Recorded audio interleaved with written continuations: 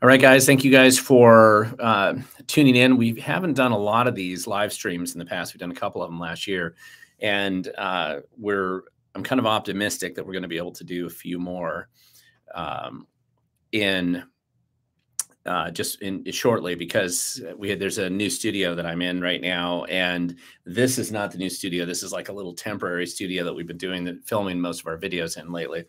And uh, but I'm pretty optimistic in about a month we're going to be in another studio that's going to be really well set up to do uh, more live streams like this.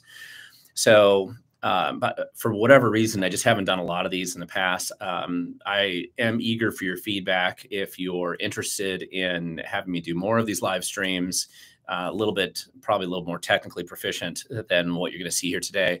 We can definitely do some more of them. If you saw some of the ones that we did last year, we had like three different camera angles. It was in the studio. It was, it was pretty nice. At least I liked it.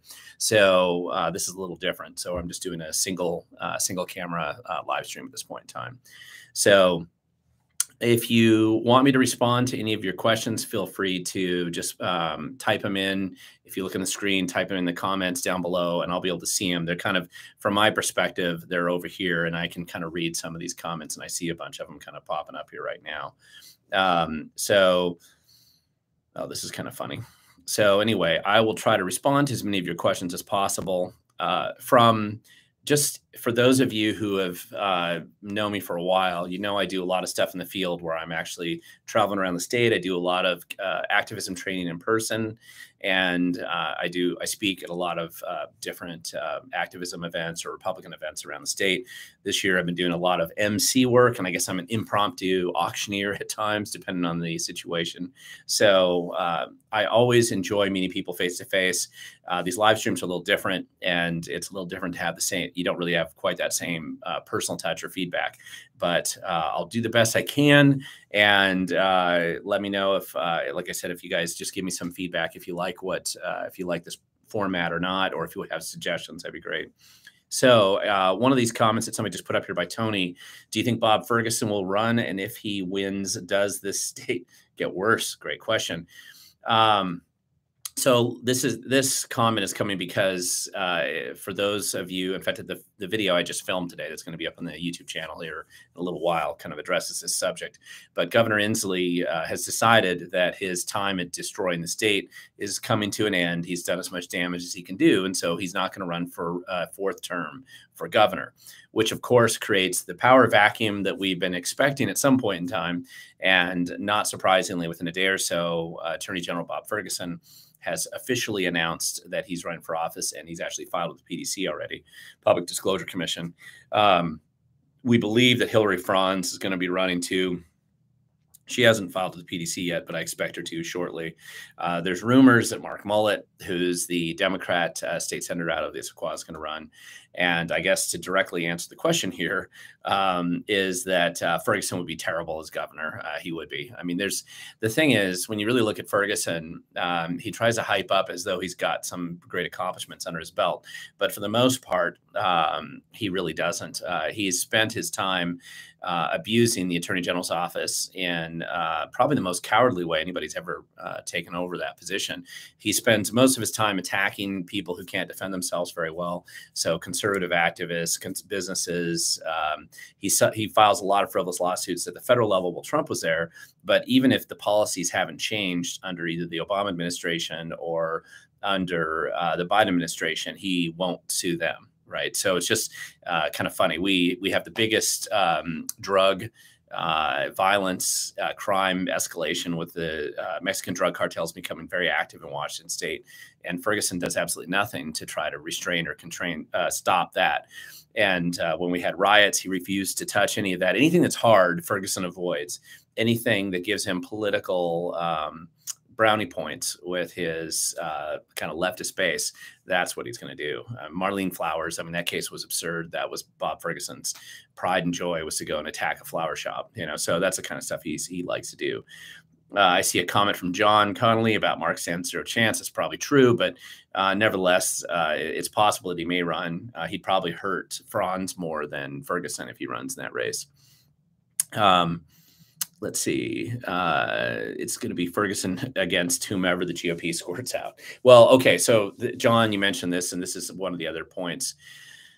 So Washington State is a top two primary system. So essentially, what this means is that uh, the top two vote getters in the jungle primary are the only two that come through. So it doesn't really matter if there's a million people that jump in the race, if there's uh, only one Republican and lots of Democrats, or vice versa. Only two of them are going to be on the final general ballot in November. So next August in the 2024 governor race, um, there'll be a big scrum in the primary, and then it weeds out anybody who's uh, not able to get in that top two uh, position.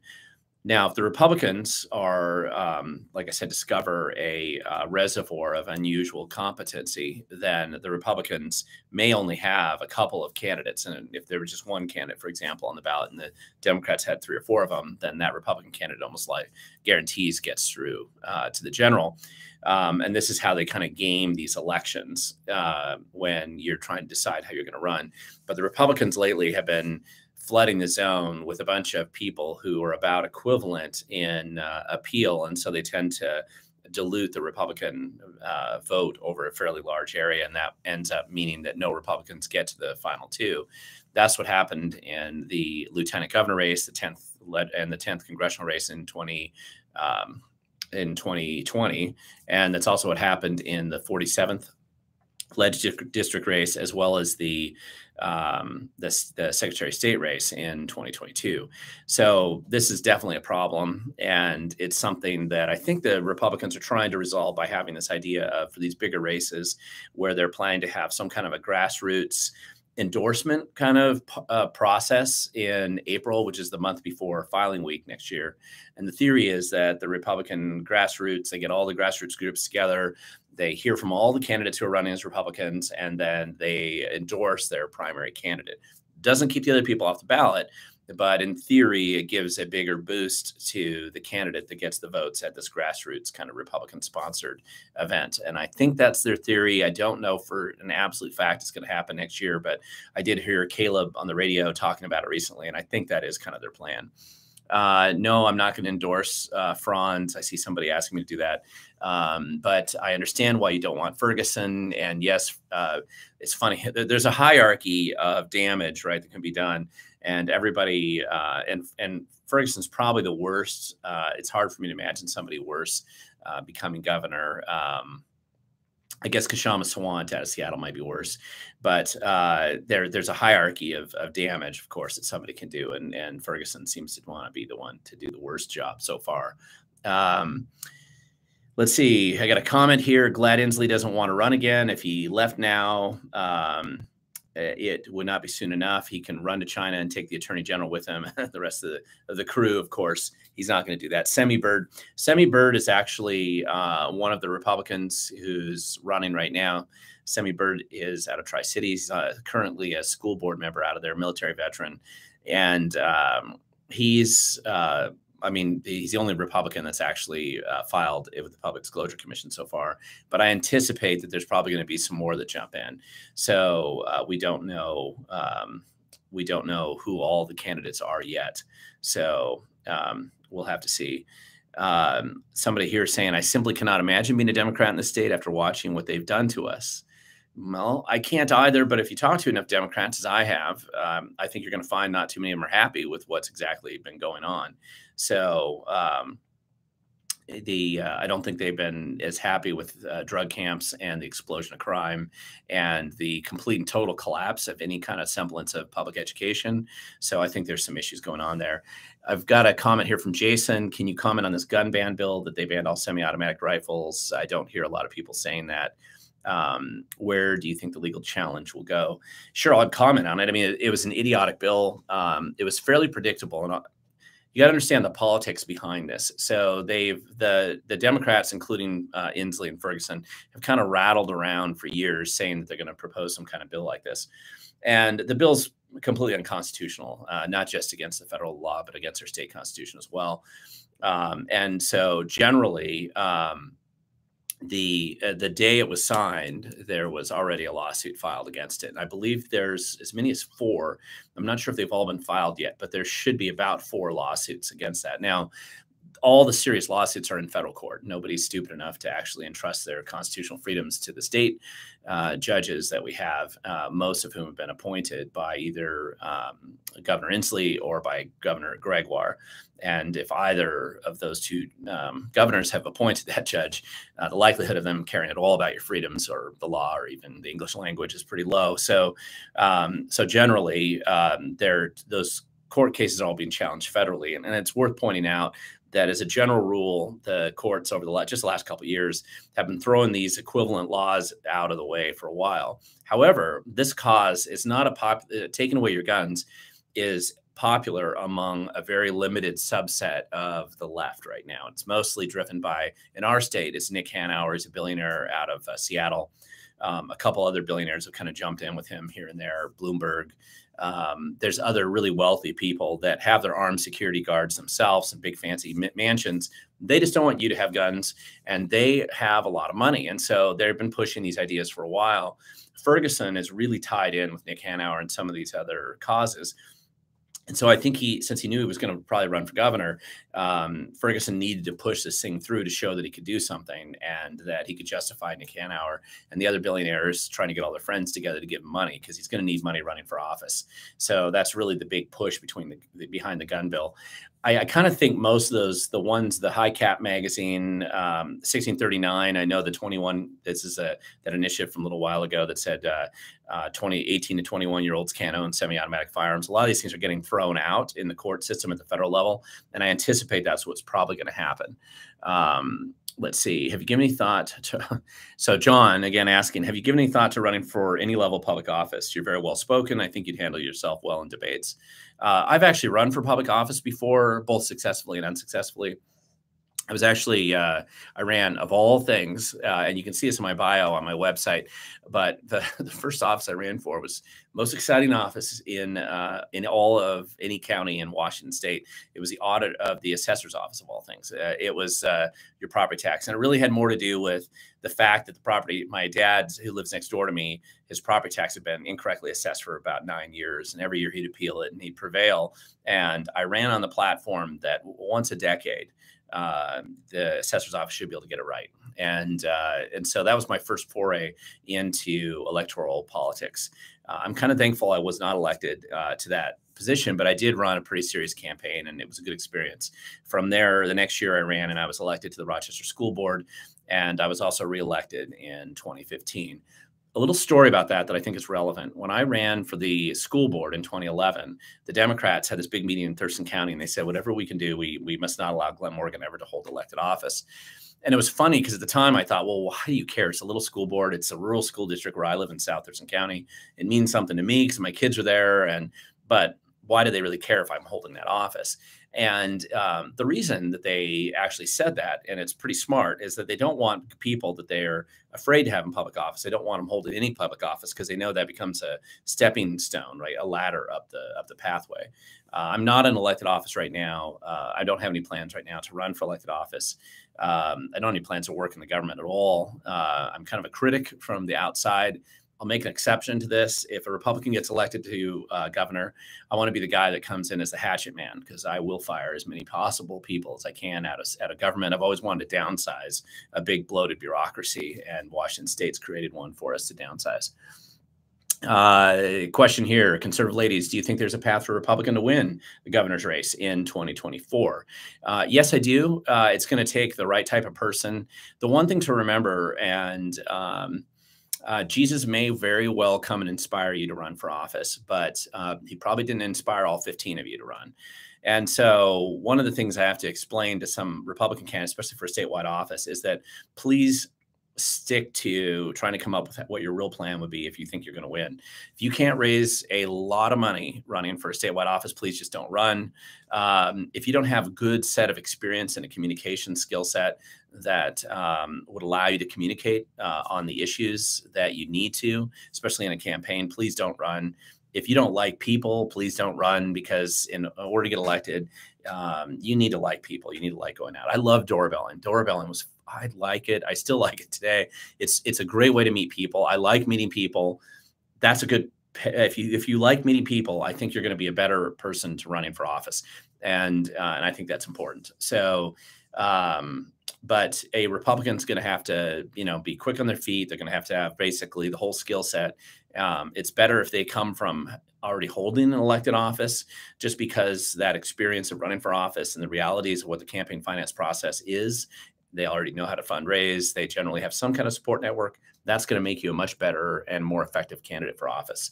And um, you know, that's that's what we need to see.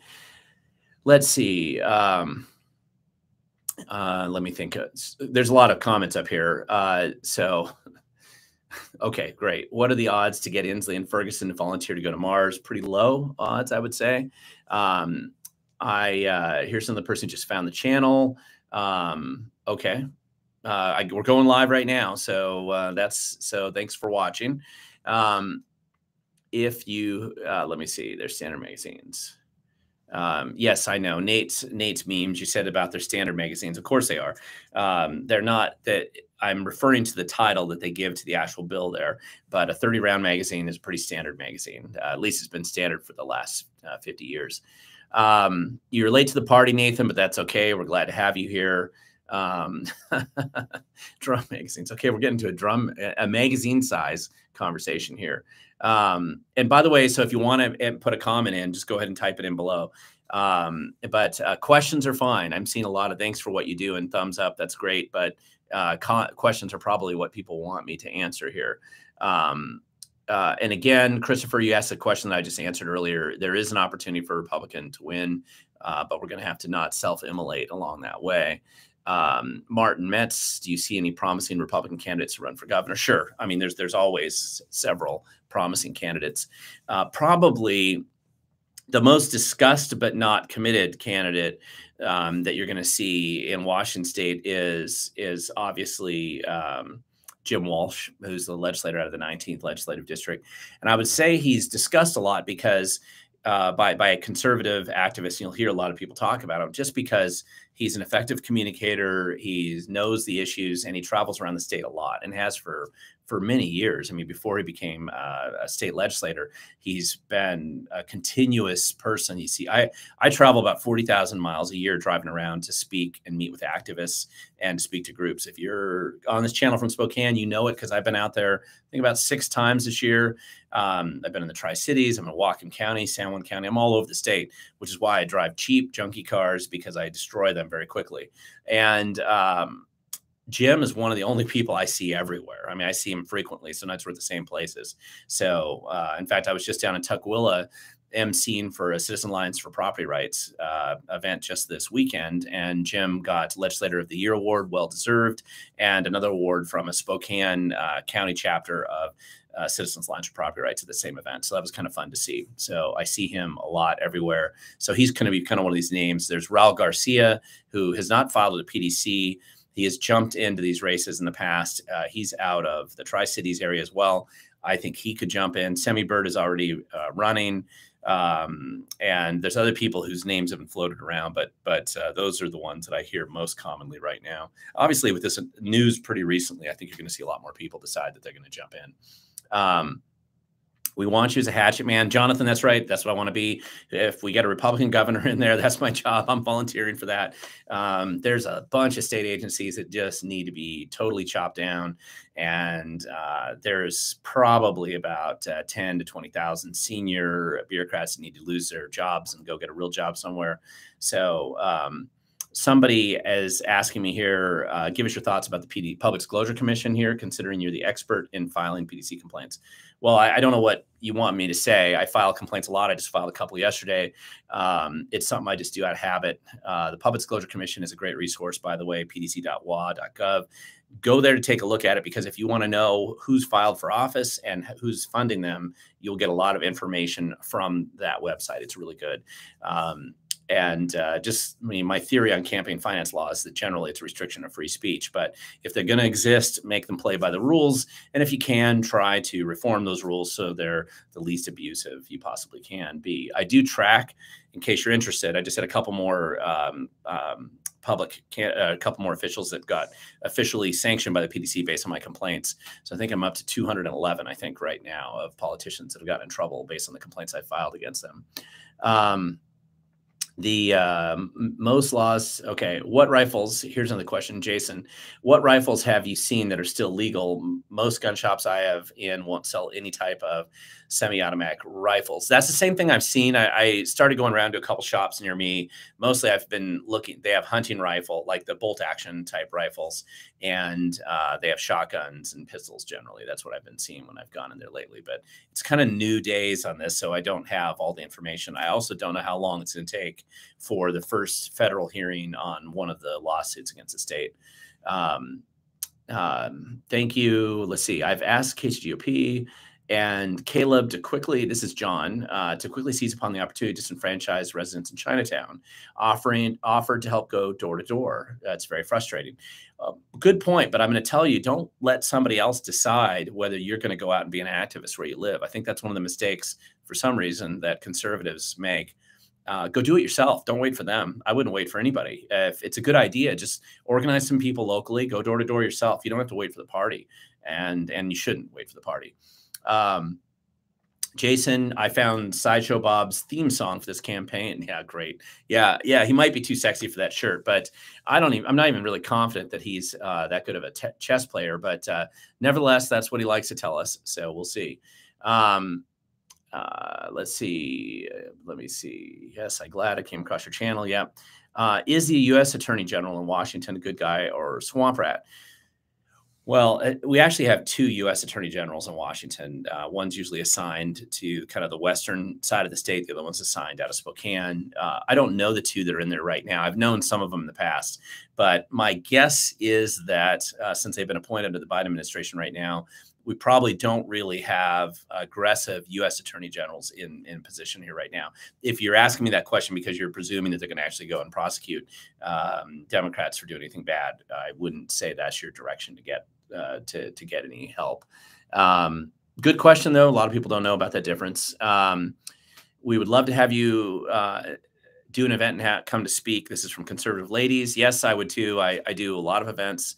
I just, uh, while I was waiting for this live stream to go live, I just confirmed a couple of other speaking engagements.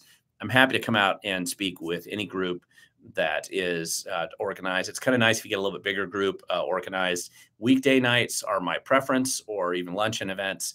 I try to do stuff with my kids on the weekend if I can. I will do some weekend stuff, but um, but that's it. So uh, happy to come out and speak there. Um, I love Jim, but I don't think he stands a chance at King County, Seattle. They'll continually run a single gaff, uh, and everyone here will eat him up. Um, they have to win the rest of the state entirely. Yeah, I, I, think King County requires. Listen to somebody. I was fifth generation King County. I live in Thurston now, but my family's been there a long time, and uh, I don't think King County is specifically. Seattle's a little different, but King County. Uh, you have to be willing to campaign in King County. And what happens is you get a lot of Republican candidates that have no idea what King County is about at all. So they don't campaign there. And so you have to spend a lot of time up there. Um, the one benefit Walsh would probably have is he's used to going all over King County on a regular basis, so it probably makes him pretty familiar with it. But um, but I, I, like King County. I think King County is a fun place to uh, to campaign because there's a lot of opportunities to reach people who have never heard any kind of conservative liberty message. Um, walking contradiction, love Renton. I used to live near there, so it's always good to see somebody from Renton. I was just up there a couple days ago. Uh, is anyone going to challenge the new capital gains tax? Angela, yes, they are. I'm expecting that to be a pretty significant initiative, and uh, I guarantee you that's going to happen. Uh, not only that, I anticipate that probably when they qualify for that, that's probably going to be on the ballot in 2024, which will make it a little bit easier for any Republicans that are running for office right now at that time. What about ballot harvesting? This is a question from Dan. Uh, ballot harvesting in our state is legal. It may be immoral, it may be unethical, but it's legal in our state. So uh, do it and do it often. Do it as often as you can. Uh, ballot harvesting is mostly just compiling and collecting all these ballots together, uh, making sure that you've got everybody who voted for them, uh, uh, that you've got them all in hand. You go and you make sure they get counted or delivered to the auditor's office. Um, it's a little bit more complicated than that, but um, this is the year of ballot harvesting. We might as well do it and uh, do it well. So. Um, so there's some interesting thoughts there. Breaking bolts. What are your thoughts on the two witness signature loophole Washington State ballots and the fact the SOS doesn't track them or verify the signatures. Always had a problem with that for ugh, it's been years now.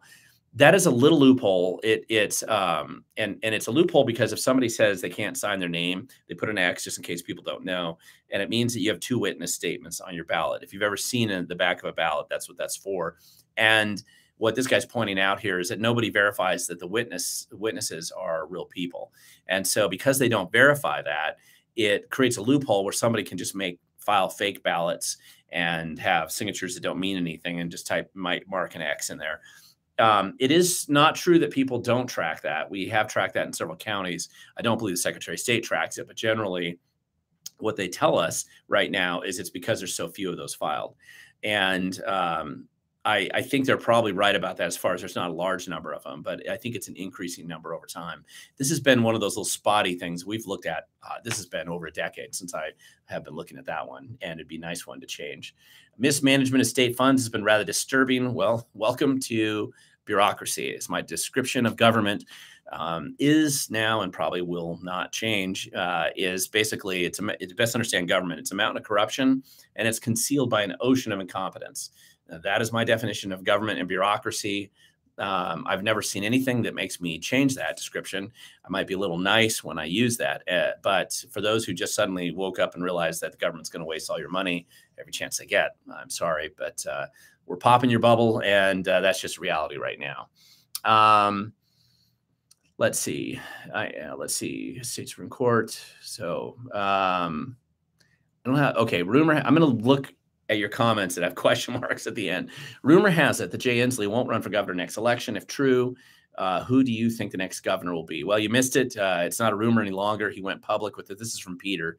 He went public. He made that announcement. It's not a rumor. He's definitely not running again. Uh, I'm kind of curious to see where he ends up, but not that curious. And um, yeah, we mentioned that AG Bob Ferguson's announced. I'm assuming that Hilary Franz, the Public Lands Commissioner right now, that she'll announce.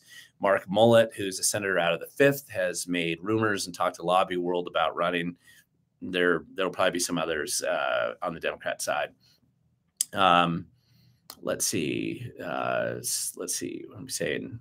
Here's a question from Michael. We see memes regarding COVID and Nazis saying something like, if you wonder who would have complied in Nazi Germany, now you know. Makes me think of everyone keeping marijuana illegal. What say you? What say you about memes and Nazis? Well, I don't, you'll find that I don't usually use a lot of um, uh, comparisons to Nazism in most of my analogies, mostly because I don't find it to be an effective one. It's, kind of been so over abused and and, and uh, used all the time that it doesn't seem like it's that effective of an analogy most people.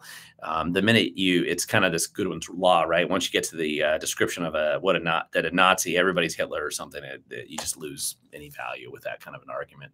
So i don't generally use memes like that. Um, i don't find it to be effective.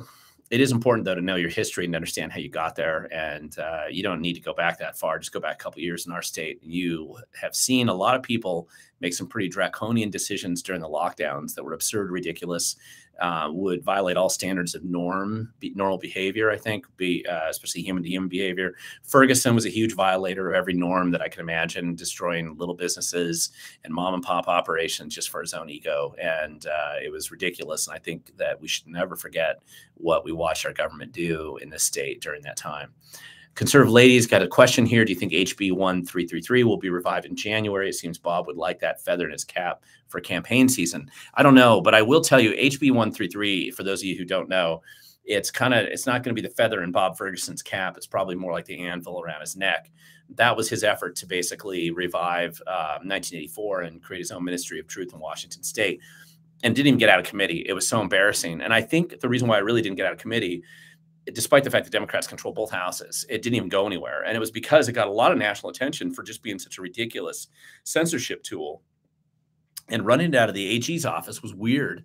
And uh, Ferguson put his name on it. I mean, he owns this uh, this bill completely, and it was a terrible idea, terribly just a completely ridiculous idea, and it didn't even get out of committee, so it's dead for now. It, it technically it still exists into the next legislative session, but uh, my guess is as Ferguson's trying to run for office in 2024, he'll probably tone back his support and let it die. That'd be my guess if I was to predict anything, because um, he's got national ridicule uh, because of that. And I don't think the response was what he thought it was. It probably sounded cool to his le- leftist friends up in Seattle and to Nick Hanauer and the billionaire crew up there that likes to come up with ways to hurt us. But I don't think it's been as good as he thought it would after that. Um, wondering about tips. This is from Sean. Uh, one wondering about tips for tracking down previously committed McNeil Island residents in our home county. Looks like public pressure brought down a house in Thurston County, and we're getting 30 when you say we are getting 30, Sean, I don't know which county you're talking about. Could be King uh, or uh, Pierce or Snohomish with that kind of number. Um, the tips are hard because what they've done at McNeil Island, how they release these violent sex predators, uh, and I was involved in the, the stop helping shut down the Thurston County uh, house that was about 12 miles from my place. Um, that house got shut down just because of public exposure and because of the open incompetence corruption of the nonprofit that was going to be running it. And it's it's kind of a big deal to to, to succeed in that. It wasn't about me it was about these ladies that got involved nearby and they did a really good job. So um, it's very hard. You have to pay attention to contracts that are issued by DSHS. And I think that's the shortest path to find where these McNeil Island residents are going to come, because otherwise, you're only going to find them about a month after they've been moved into your neighborhood. And when they buy these homes, they're lying about the use of the homes. They're coaching whoever the property owner is to lie about what they're using it for. They're going to say, oh, we're using it for assisted living or something else, but that's not really what they're doing. They pay a lot of money for this. Um, sorry, it just keeps running up here. Um, this is funny. Um, Jacob, you're asking who's the least bad potential Democratic candidate for governor. I've only mentioned three. Uh, these are only three I've heard about. of the three of them, Mark Mullet would probably be the least worst, probably least likely to prevail.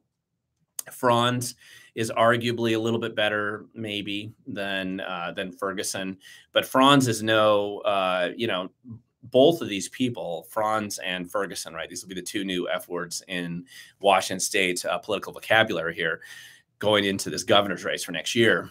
Um, neither of them are good. I mean, Franz might be nominally less destructive, openly destructive to freedom and liberty in the state. She's not particularly good as a person in that position, but uh, we'll see. So that's my opinion there.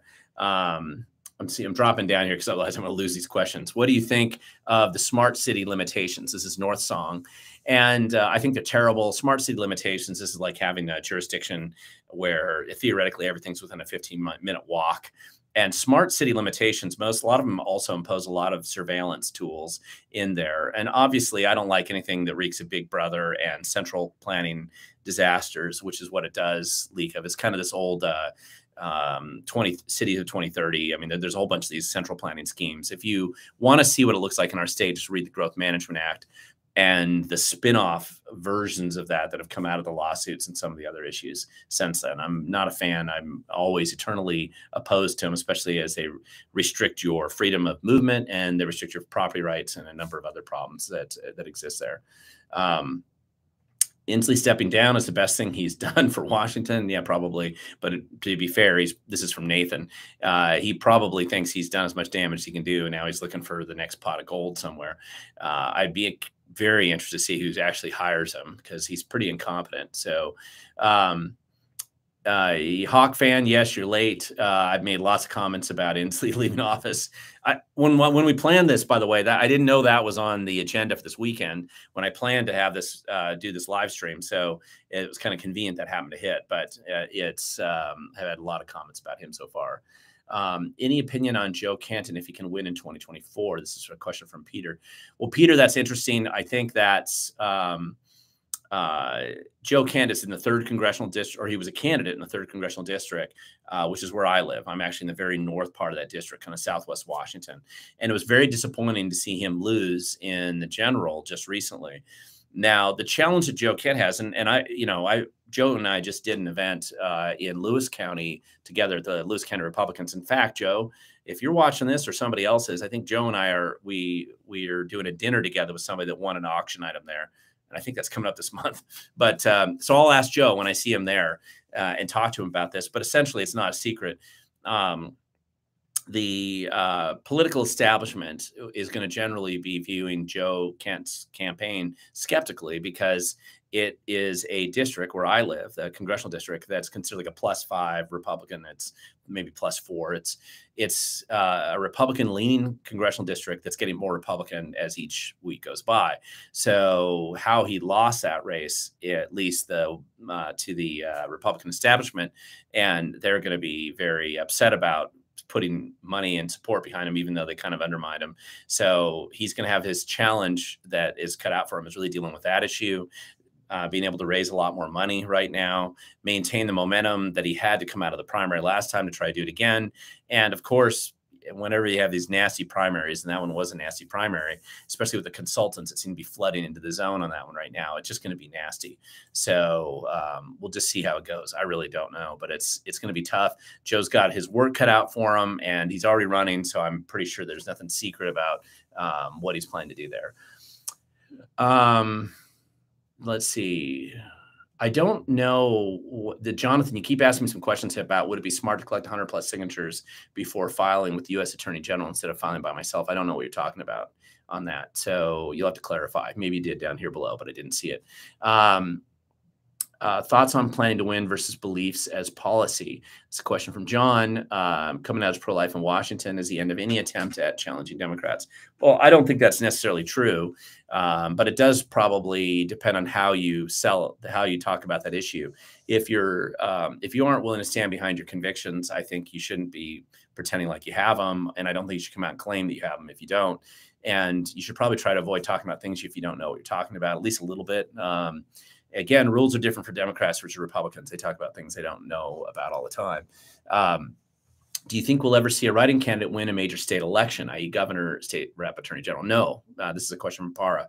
No, you won't see a write-in candidate win those types of positions.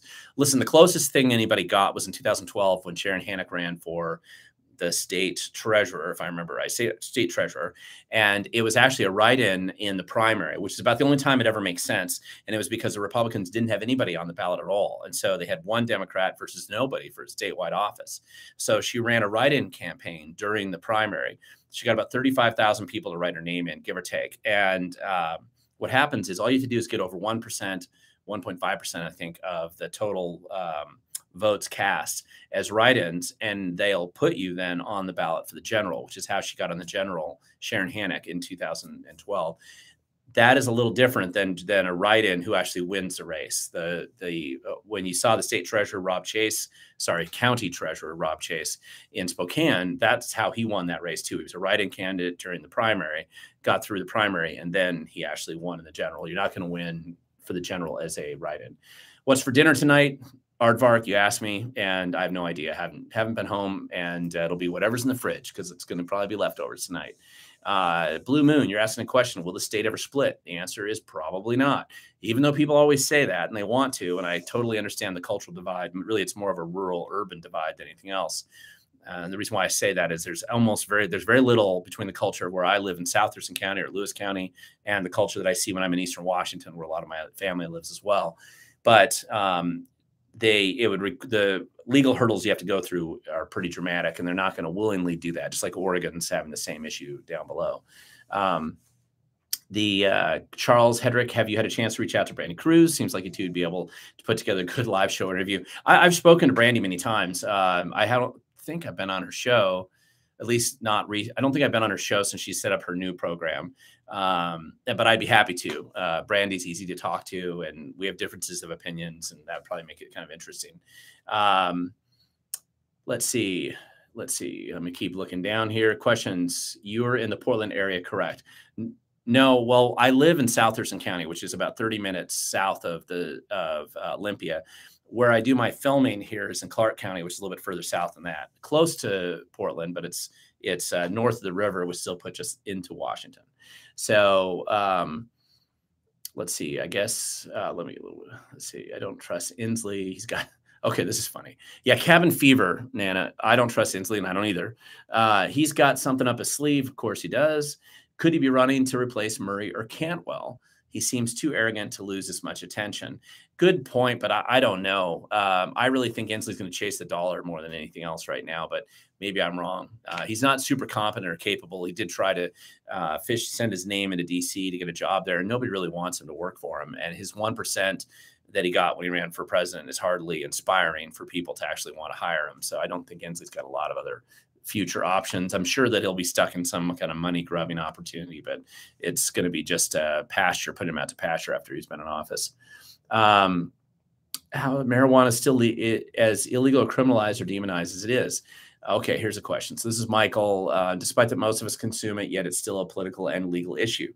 Um, well, I mean, fair to be fair, I don't I don't consume marijuana myself, so it's it's legal. Uh, I know plenty of people that do consume it, um, and uh, it's I don't think it's been that we're in a state that it's not criminalized or probably demonized that much, um, but it's going to always be part of the reason why it's still federally illegal.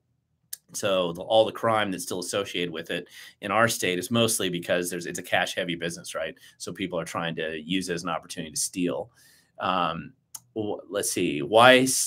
I think Doug Cobb. I think your question here is why state RNC which I think you mean Republican National Committee, which is a little different. It's Washington State Republicans. Is RINO, um, you know, obviously I'm a listen, I'm a Republican PCO where I live. Uh, I don't consider myself a RINO, uh, and most Republican activists I know probably wouldn't. But uh, anyway, so it's just kind of um, it, it's I don't know what how to answer that question because I think the Republicans are made up of a wide spectrum of people in the party. Uh, here's some other people asking about where I'm at. Hopefully, I answered the question. I'm not in Tumwater. I don't live in Tumwater. I live south of Tumwater. I live kind of between the Rochester, Tenino area and the rural areas.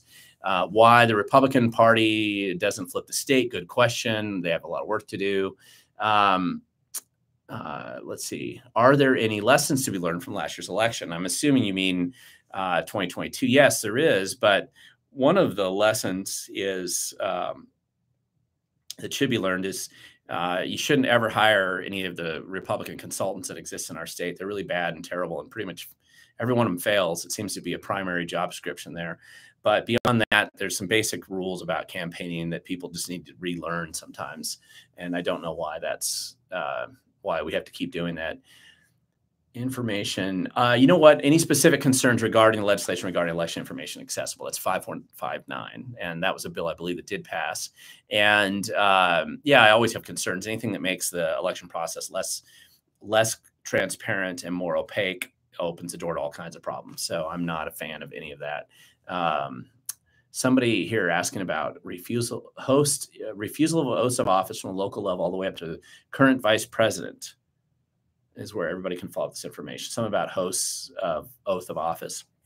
I, you know, I encourage people to get who go down these rabbit holes on oath of office or um, other things. Uh, definitely try to be focused on practical things where you uh, where you work. JTB, how can we get rid of mail-in voting? Well, either there's two ways. Either it's going to get rid of it by federal rules that have nothing to do with Washington, or you're going to have to get some different people in the legislature who are willing to put it in.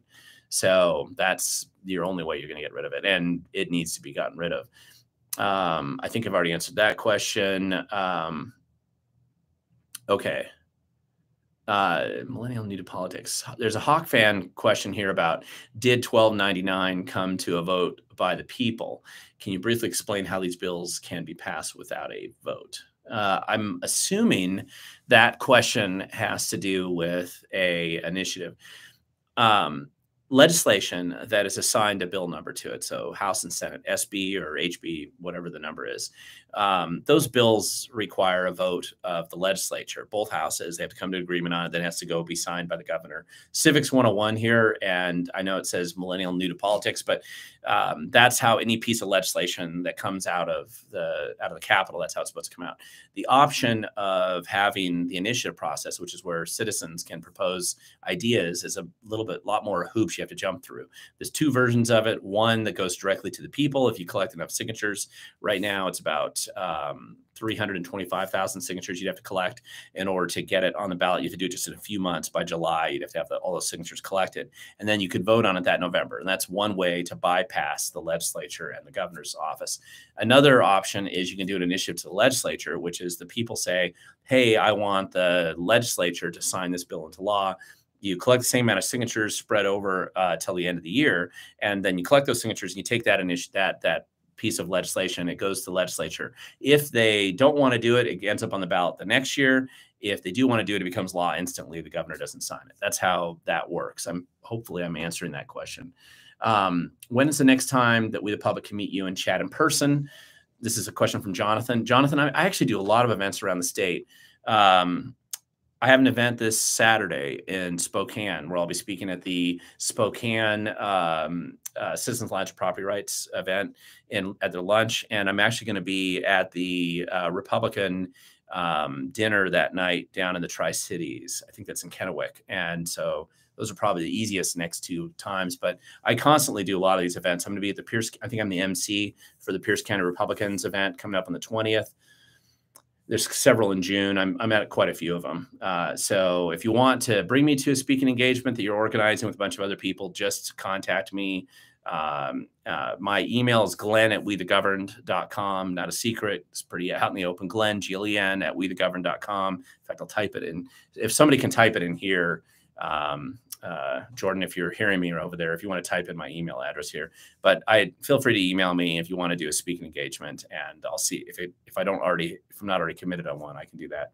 Um, what is your opinion on Sheriff Sanders? Oh, good question. So I have a little bit of experience here with this.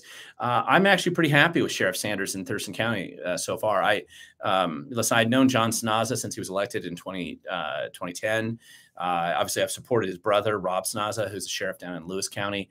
Um, but I had known John Snaza quite a bit. And when he had his, when John had his motorcycle accident, I know things changed quite a bit for him. Sheriff Sanders ran a pretty aggressive campaign, and he got in. And uh, what I've liked about him, he was super helpful in jumping in on the sex predator house that Inslee and Ferguson wanted to create in South Thurston County. Sanders was on the right side of this, did a great job pushing back on it. And what I really appreciate about him according to other deputies that I've spoken to in the, the Thurston County Sheriff's Office, he seems to be willing to go aggressively, use every way he can to stop some of the violent criminals that are coming out there. And it's just, you know, it's just sometimes you new people coming into office, younger people, they're going to hit hard and hit it running. And so far, he's been doing a really good job.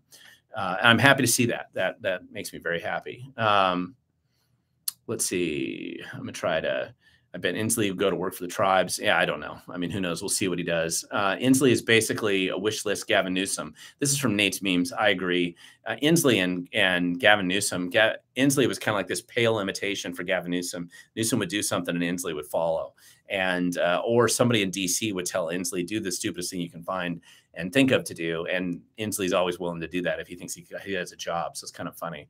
Um, uh, did you hear about the Oregon Secretary of State who resigned today? I did not. I kind of heard something about it, but I didn't hear anything. So I'm sorry, I can't chat much about that. Um, uh, from Greg, what can we do to win city councils and school boards? Well, this is easy. Number one, uh, we have to actually start running for these positions. I was just meeting with a bunch of school board candidates just recently. And remember, in Washington State, officially, the filing week starts in just two weeks in uh, May. And you can officially file to run for office. You can still start running sooner, but you have to file the Public Disclosure Commission. But you can you can file officially with the Secretary of State and your local auditor then. And you got to run number one. Number two, go to these meetings and actually uh, study what they're doing. You only have to go to two or three meetings. You'll start to get a handle on the issues and the policies that kind of come before those elected bodies at the city council and the school board level, especially, and this includes PUD commissions, fire commissions, things like this.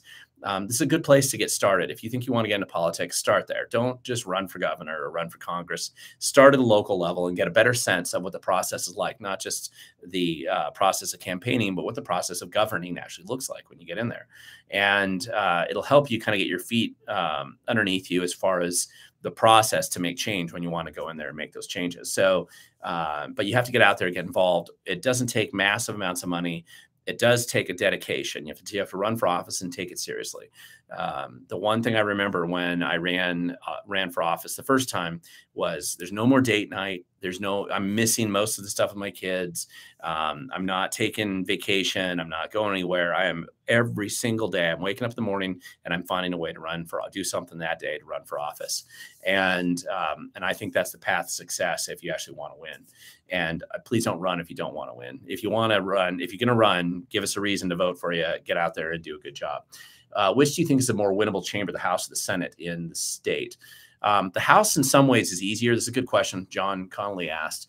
Um, usually the House is a little bit easier um, just because you have a two bites of the apple. Every legislative district in Washington state, there's one state senator, two state reps there. Um, you have 48 districts in the state. And the, um, or 49, sorry, 49. Um, but you have a chance to uh, run for more seats there in the House. I think the House is a little bit easier to flip, but it does take planning. And there's a lot of seats right now that should be vulnerable. Uh, a lot of Democrat held seats should be vulnerable if Republicans run good campaigns and do a serious, uh, serious effort. Um, Witness loophole. Okay, Breaking Bolt's question. This is an SOS question. Um, witness loophole. I've queried several counties and state SOS. They tell me that they don't keep track of how many are submitted. Advice on how I might find that information. Okay, so one way you can do that is actually just file, get a get a copy. I oh, they just changed the law on this too. You used to be able to get copies of the envelopes, and I think you'd be able to see if they marked the X and whether they had witness uh, signatures there. That's one way you can do it arduous, very difficult. It's kind of a pain. Um, talk to some of the counties that have um, that actually have auditors that care about uh, open and fair elections. I would say Kittitas, probably Grays Harbor. Um, uh, Franklin County right now, um, uh, Mason County, uh, auditors like this uh, are probably willing to, and there's there's a couple others that are actually they they probably find ways because that's not a secret sauce sort of information, and they should be able to uh, expose that. Um, how did the approval of a safe state for all transgender and paid healthcare services? What I don't know. That Jeff, you, Jerry, I'm not sure what question you're asking there. Um, Teresa, you asked a question. Do you think Jim Walsh will run for governor? I don't know. I just his name is bandied about, and the last time we were just speaking at an event this Saturday in Tukwila, and people came out and openly were asking him to run for governor. Which, by the way, I'm going to explain this to you.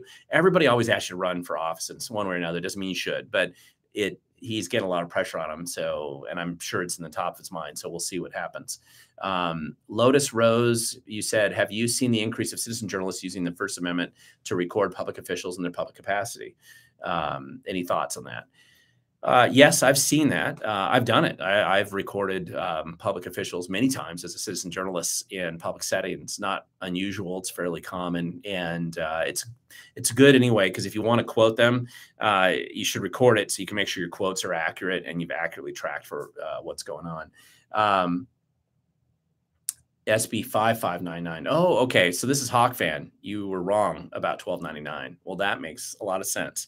5599. I don't see many talking about it and it seems very dangerous. Yeah, it was a terrible bill. This is the one that the state uh, basically can uh, somebody can encourage your kid to run away from home. They can put them in a non uh, nonprofit housed facility and then keep it secret from you, which is why I'm specifically calling that state sanctioned kidnapping. Because if somebody else has your kid and they're keeping it secret, that they even have them or where they're at.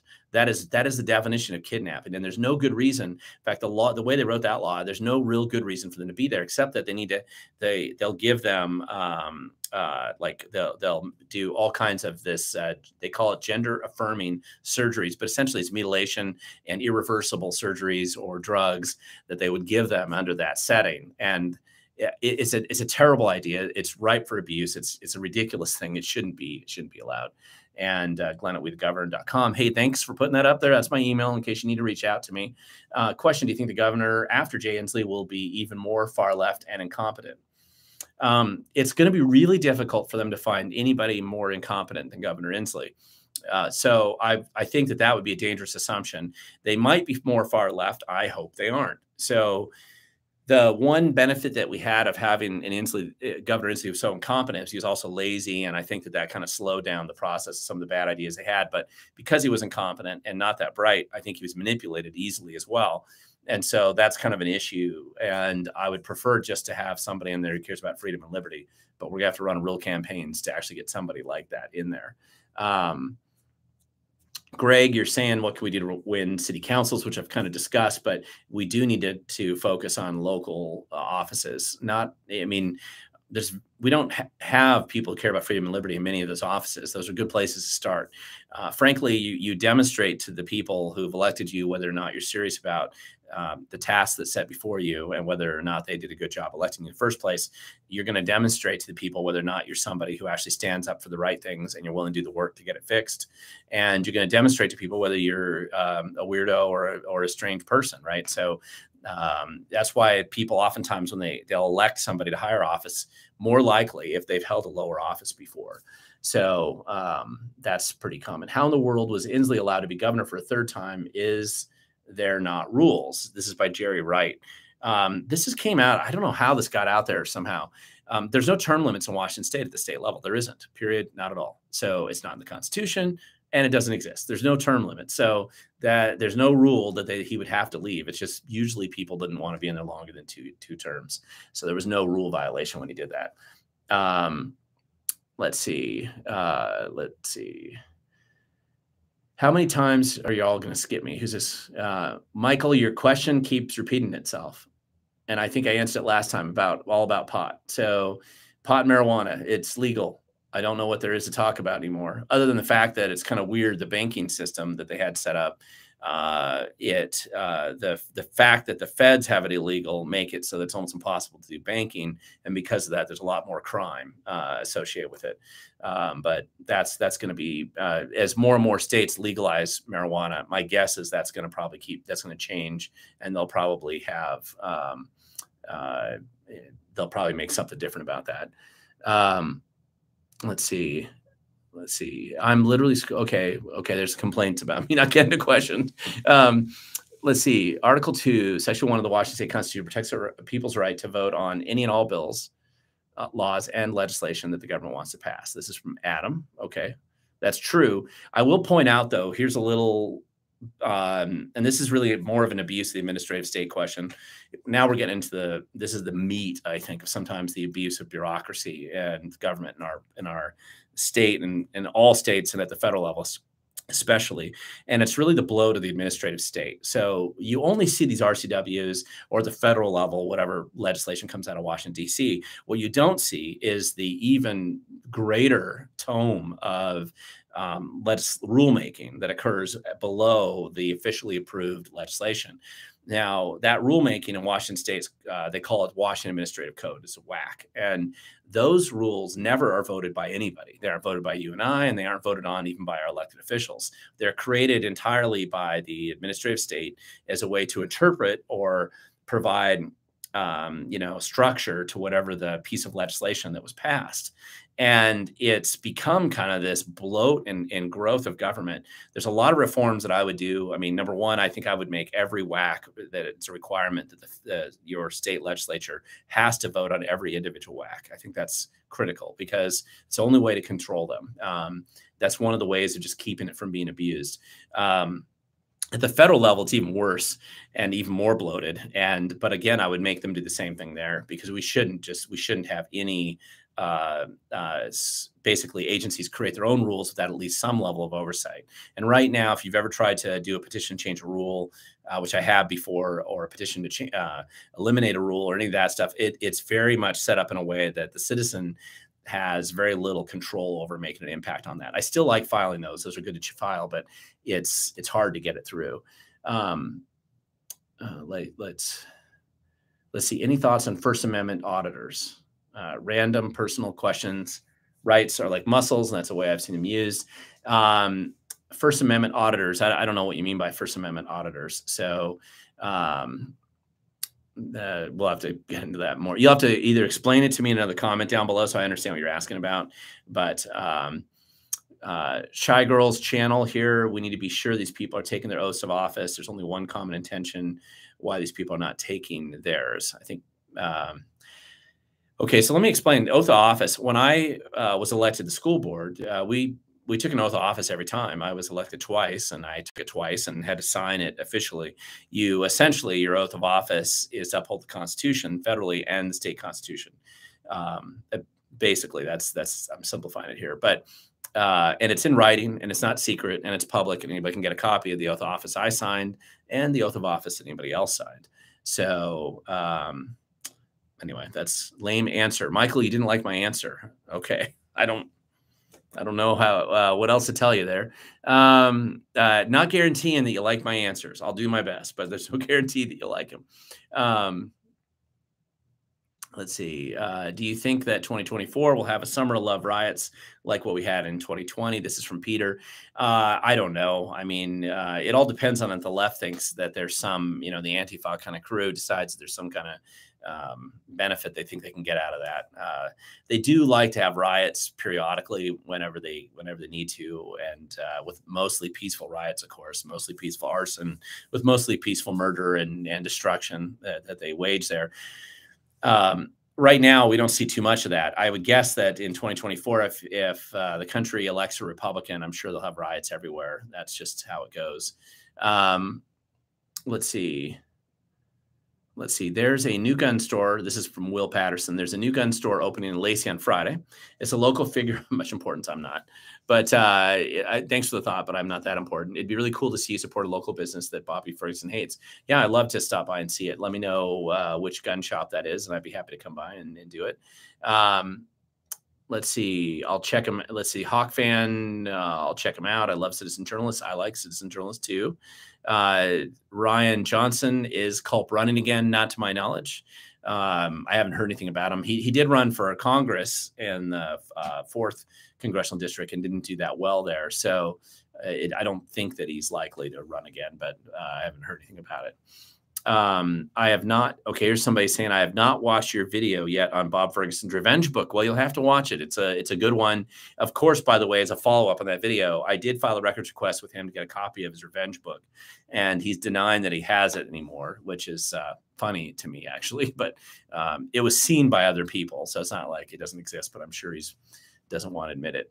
Um, Ryan Johnson asking um, who's running on the Republican side. Again, we talked about that a little bit earlier, but uh, officially, I think um, Semi Bird is the only Republican who's officially filed who's raised any money.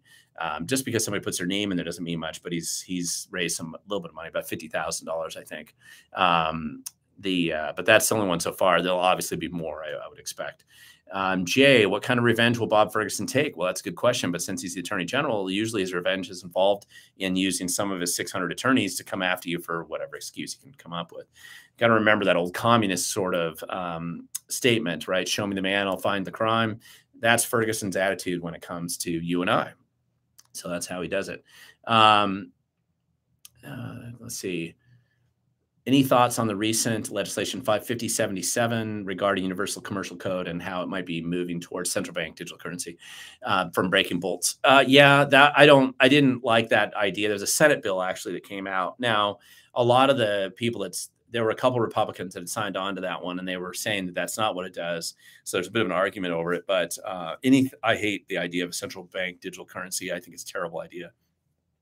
So anything that even remotely opens the door in that direction, I would reject. And I think some of the people that were voting, one of the things you have to remember, these legislators get these bills, none of them write the bills that they've sponsored. They're all written by somebody else, usually uh, lobbyists or some lobbying group.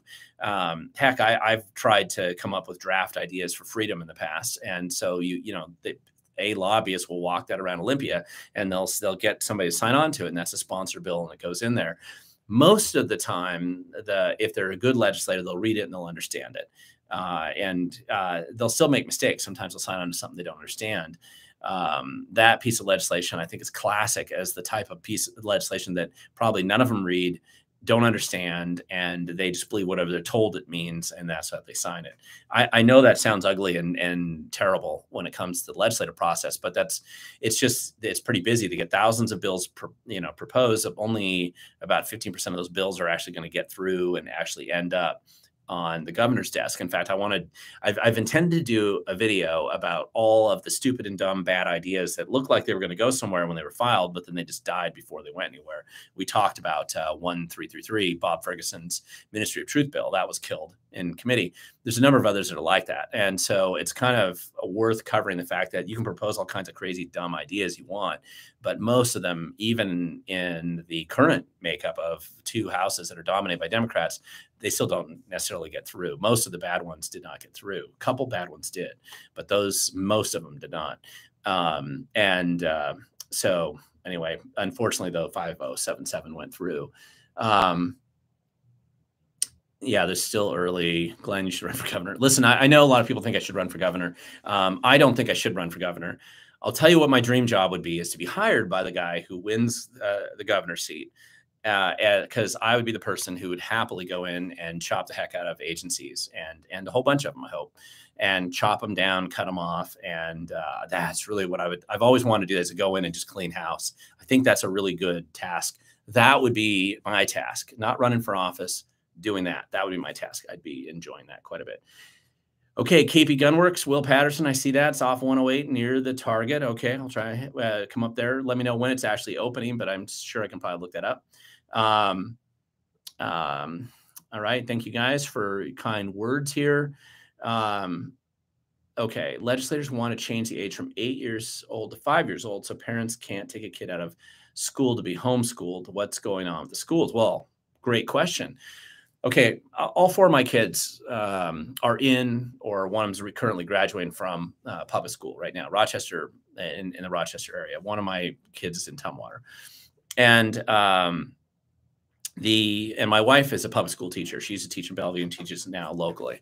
So what I find is that uh, if you look at um, if you look at how uh, the public school system's going right now, it's it's it's going downhill fast. And COVID accelerated it. The, the descent was already in place, but after COVID, I think a lot of people got a chance to see just how bad the education, the practical education, is they're getting from their skid, kids, mainly because they could see it on Zoom and they find out the education's not that great. Here's the other big problem, and it's demonstrated by every measurable test score that you have. Uh, basic math, basic functional literacy, sciences, everything everything's collapsing right now in Washington State. Every measurable standard. That's why the OSPI is like burying the stats as deep as they can. Chris Reykdal, who's head of OSPI, was formerly in Tumwater School Board, uh, was formerly in state legislature, has done a miserable and terrible job there as OSPI. I mean, it's I couldn't even imagine somebody doing more harm to the school district than this than to school kids generally than this guy has um, and under his watch it's gotten as bad as it's ever been in recent times for sure so what's happening is about 41,000 families have pulled their kids out of public school. Either they've sent in private school or they're homeschooling, either way. And um, but the other thing is they've dumbed down a lot of the standards that they had in the school system right now and that's something you don't even see as a parent necessarily. You'll think oh my kid came out in history and us history and it's just like the us history of his sibling five years ago. No it's not. They had 49 points of requirements back then. Now they only have 20 uh, ap classes are being taken out. Um, there's that current trend now where the, everybody's the same. They mush them all together. For a while they were trying to do these this idea of grit and um, rigor in the school system. That was a big push when I was on the school board. It was it came up in every single school board meeting that we had as we were pushing for more grit, kids that could last longer in the school system and have more rigor in their education. And of course, um, that's uh, gone completely opposite. And really, COVID is what just completely collapsed it off the system. So I think you're going to see a lot more people pulling kids out of the school, and uh, we'll see how it how it goes. Um, let's see future 42 yeah I, i'm familiar with future 42 mostly that's an effort to try to restore some sanity in government. Uh, Brandi Kruse is part of i think she is part of that. Um, uh, let's see. Yeah oceana 23 oh, inslee was kind of a dope but ferguson just seems evil. Yeah i don't dispute that. Um, uh, let's see i don't know if you would know anything about this topic but when do you think the ilwu and the pma will sign their union contract? No idea can't answer that question. Sorry about that. Um, is Ellen, is there any support for a gold and silver as currency in Washington? Not officially. I've never seen it, but I think a lot of gold and silver gets sold in the state. So, um, the, believe it or not, Washington State's actually historically had uh, silver and gold mines, especially in Eastern Washington. And uh, um, so, but we don't, our state's not been friendly to mining lately. Um, let's see, would Joe Kent run? I think I already talked about that. So if you if you're asking more stuff about Joe Kent, um, you're going to be seeing him. Uh, go back to my earlier part of this question. Um, let's see, small g. Let's see. Why is Inslee not running for a fourth term? There has to be some nefarious reason. This is by Joe Blow. Um, I don't know if there's a nefarious reason, but you know, Inslee uh, does seem to be primarily focused on causing as much damage as he could. I personally, I think he's getting bored with his office, and so I think he's leaving because that, and he thinks he's got some, uh, you know, cushy sort of thing that he can jump into. When you've been around Inslee up at the Capitol, it doesn't seem like he likes his job or cares about what he's doing much. So um, I don't know how nefarious that is, but it's, you know, I, I we'll see what he ends up doing. Um, should Tiffany Smiley run for governor? Is a question from Tony. I don't know. I mean, that's up to her. I don't think she will. Um, the uh, you know her the results that she had in a statewide race wouldn't generally support running again. That's just how it is. If you were within like a teeny, just a couple points, maybe, but probably not. Um, that would be generally what I would think. Uh, yes, more government equals more problems. Less government equals less problems. Um, Oh, this is a funny question. Any way we can get the Tenino wooden dollar back by gold, backed by gold and silver? I don't. Peter, you're asking some pretty interesting questions there. No, but Tenino is near me, the city of Tenino, and so they're famous for their wooden currency that they produce back in the uh, 1930s and even currently. So it's kind of a fun thing.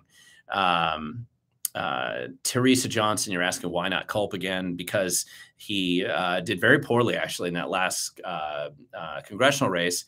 And one of the things you have to do if you're going to run for governor is you have um, you need to raise be able to raise money. And uh, maybe I, I, don't know. I mean, I I just I haven't seen him file, and there hasn't been any talk about him running uh, the lately. The last time I think I talked to him, that wasn't in the cards back then either. So I don't know. I just don't see it likely right now. Um, the 7% capital gains tax, is that official? Question mark. This is by Ryan Johnson. And is there a way to get that overturned? I remember uh, right, the majority vote against it, but like the car tabs, he sh shoved it through. Okay, the capital gains tax is um, has had this long, brutal path in our state. It's a terrible idea. Um, and it's been pushed through by, I think, a very corrupt decision by the state Supreme Court at the end of the day because it was legally challenged and that's where it went. And the Supreme Court, the fix was in and they decided that they would somehow allow it by inventing a new definition for excise tax that's never doesn't exist anywhere else in the country. Um, and obviously, it's just about get grab. It's a cash grab, right? And the question is, is there a way to get that overturned? Absolutely. It'll probably be an initiative. Um, I'm almost per guaranteed you're going to be seeing people collect signatures on these initiatives this year. And it would probably be initiatives to the people, which would go, or to the legislature, which would then go on the ballot next year in 2024. So whoever, whatever Republican is running next year, you'll probably be sharing the ballot with a couple of initiatives that are going to be very popular with people who want to shrink the size of government. So um, that's that's how it's happening. Uh, I see Vicky made some comment about she is starting a PAC to fund candidates that's the pack that um, uh, Smiley's starting. I think that's what you're referencing. That's true. She is starting a pack. Um, Condor 1970, since Jay Inslee does not want to run for a fourth term, you can bet Bob Ferguson wants it. Glen, have you considered running against Ferguson in the next election? No, I really haven't. Um, um, and not that it wouldn't be fun. I just, I, I, we, I want people who are likely to be able to do better and have them run for office in there. Uh, as I've said earlier in this live stream here, I'm I'm happy to be the guy that they hire to come in and cut government uh, deep and wide and chop it up and and shrink it down. That'd be a good job for me actually, but um, I'm not particularly interested in running. Although I plan to talk about Ferguson quite a bit over the next period of time. Um, Jerry Wright is an older person. They just want more property tax from us to support these schools. Hard to stomach it is. If you look at the average school budget in Washington State, uh, it's about 88% made up. Roughly about 88% goes to pay salaries. Not a surprise. Um, the real differentiation that you'll be able to get in a school, and by the way, about 9% of the money, sometimes 8% comes from the feds. The majority of it comes from the state, and your local property taxes are part of that process.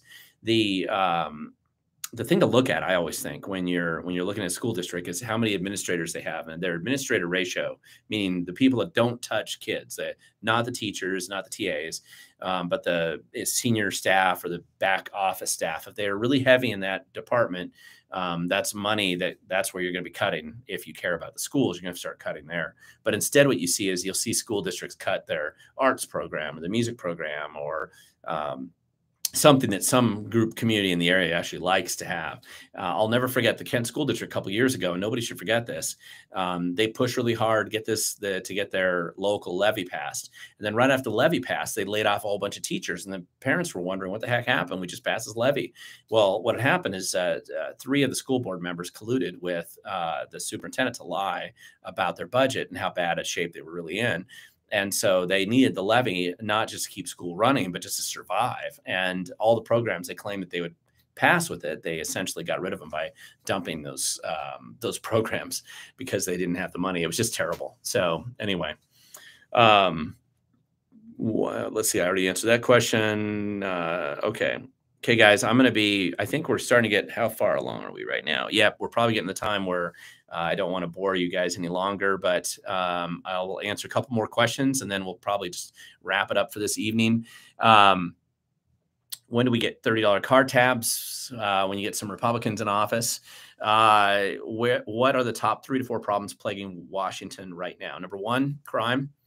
The crime problem, just from a, um, you know, just from a living in uh, the community, that's the biggest problem. And I realize it's more concentrated in the in the urban areas, but it's the biggest problem that we have related to the crime problem, and it's really it's dovetailed directly into that. It's drug addiction issues that we have. Um, we don't have a homeless problem in Washington State. We do have a drug addiction problem that creates this perceived homeless problem, which actually creates a whole bunch of other problems because the crime is directly tied into that. Um, we may be willing to give, we being the government seems to be willing to give these people free everything, right? Free food, free clothing, free pallets, free propane, free tents, uh, free place to stay, free, free, free.